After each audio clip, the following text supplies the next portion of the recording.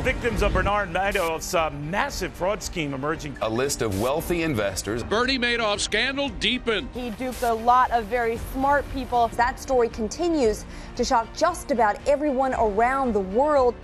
The afternoon that Madoff was arrested was really crazy. And I was stunned. But by nightfall that night, we knew that Madoff had been turned into the authorities by his two sons. And at that point, this just became a whole new dimension of story.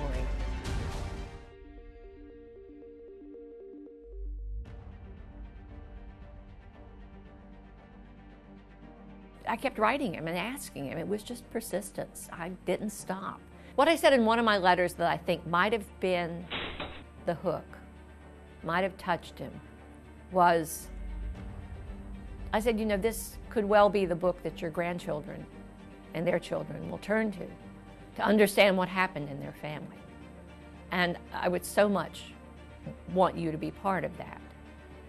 I don't know if that had an impact or not, but I meant it sincerely. I wasn't trying to manipulate him into saying yes. I genuinely wanted not to glamorize him or demonize him, but at least to humanize him.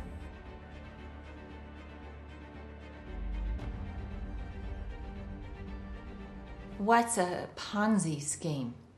I took money from some people and I gave it to others, and I never, there's nothing left. I, it's supposed to be 50 billion. There's absolutely nothing. It's all gone.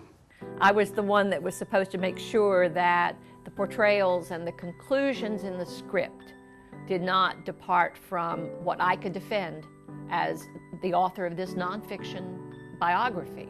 In every case where I am in a situation to judge, the character portrayals are spot on. They are amazing. And in De Niro's case, as Bernie Madoff, they're almost supernatural.